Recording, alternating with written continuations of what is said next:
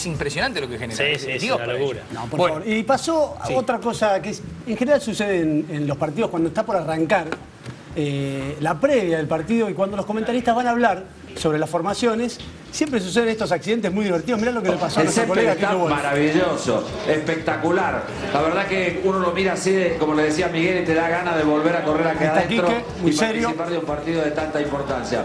Creo que esta importancia que nosotros le damos y que le da la gente acá, también se la dan ahí en ese lugar, ¿no, Quique?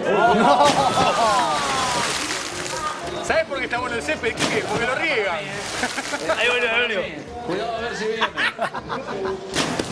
Che, el camarógrafo no le puede avisar. No se- no, uno no puede reírse y filmar al mismo tiempo. Claro. Se estaba riendo de Quique. Qué Grande, Quique, van le acá.